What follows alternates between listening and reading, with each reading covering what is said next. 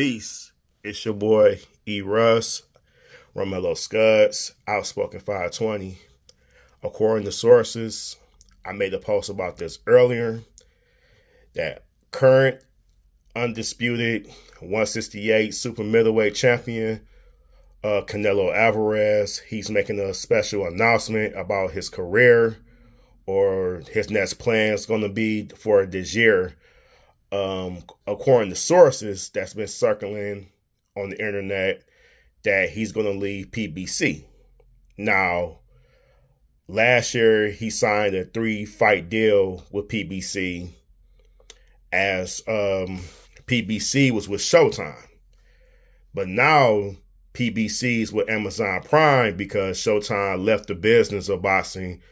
Um, they've been the network for boxing for 37 years and finally called it quit this past December to January to this year. So it's no more um boxing Showtime, but PBC is with Amazon Prime. So Canelo is sort according to sources and rumors that he's leaving PBC after he fulfilled only one fight of a three fight deal. And the fight that he fulfilled was when he beat Jermell Charlo last year. But uh, that's a another rumor that he's going to uh, announce that he's going to fight his twin brother Jermall Charlo, who's um, a two divisional champion, and he's the current middleweight champion. Um, he came back after his two year layoff um, versus uh, Jose Benavidez, the older brother of David Benavidez. Uh, it was a rumor that they was going to fight Cinco de Mayo, May 4th of this year. But um, according to sources, that he's leaving PBC and Jermall Charlo is with PBC. So, and another source saying that he's going to fight Jaime Munguia uh, on Cinco de Mayo. That makes sense. And he's with Golden Boy. So the zone Golden Boy. And that makes sense. And Canelo was with Golden Boy early in his career before he became a pay per view star.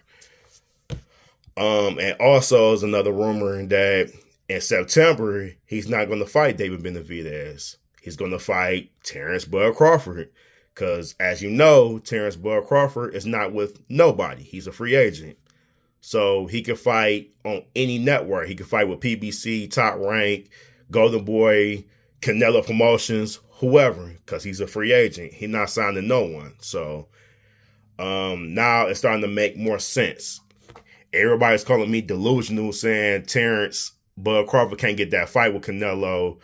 Um, now it's making more sense. Um, as I posted earlier on my page, on my Facebook page, Outspoken 520 Boxing or IG page or my YouTube channel, I posted earlier that Terence Bud Crawford was sparring with Lester Martinez. If you don't know Lester Martinez is, he's an up and coming super middleweight champ, not champion, but he's an up and comer in the super middleweight division. That's 168.